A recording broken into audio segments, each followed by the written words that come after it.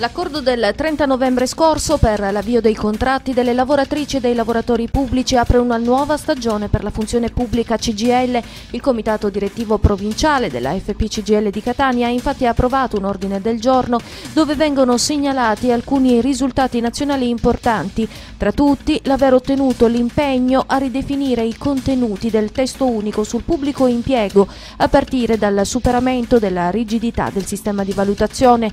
In questo modo sarà stabilito un nuovo sistema di relazioni sindacali a favore della contrattazione e del rapporto tra le fonti.